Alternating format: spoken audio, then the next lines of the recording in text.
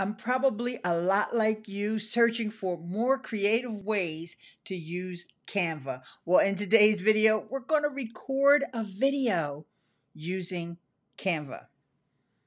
And no, you can't do this in Photoshop. You can choose the video option, but for this example, I have already started an animated video. So what I want to do here is on the left-hand side, choose Uploads, and you'll see the option to record yourself. Choose the right camera and mic and screen share if you wish. Change the shape of your webcam from round to landscape, whichever you prefer.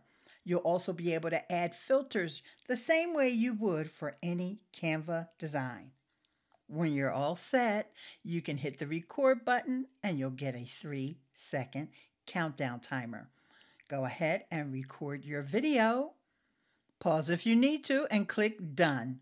Then click Save and Exit. Now you can come back to the main editor and make any other tweaks, resizing and changing and moving things around in your final Canva video design. Next, you'll go up to the Share option and click Download. Then you'll just download the MP4 video. Now you see how easy it is to use Canva to record video for a course that you're doing, even for your YouTube channel or upload to LinkedIn or other social media. So be sure to check out Canva Pro.